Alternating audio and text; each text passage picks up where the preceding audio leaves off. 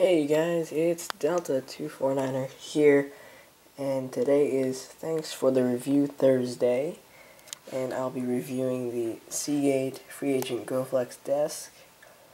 It's an external hard drive that's meant to stand on your desk, not to be brought anywhere. Uh, I have the 1 terabyte version, but they do have a 2, 3, and 4 terabyte edition. It earned a CNET Editor's Choice Award, and I guess that was 2010, but it's still, I got this in 2011, and it still is really good. Um, the it has a little adapter on the bottom for the stand so I can show you. this right here comes off and you can buy um, a USB 3.0 version of this to upgrade it. So that's pretty cool that you can use both USB 2.0 and USB 3.0.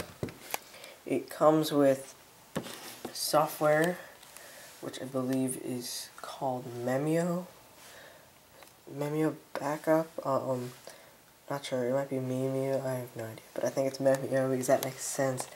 Um, and comes with the software, or you can just drag your files onto the drive. In the back here, we have the power, the AC adapter plug-in right there, and the mini USB right there. And the power brick looks like this, and the I can show you USB is like this. Overall, I think that it works really well.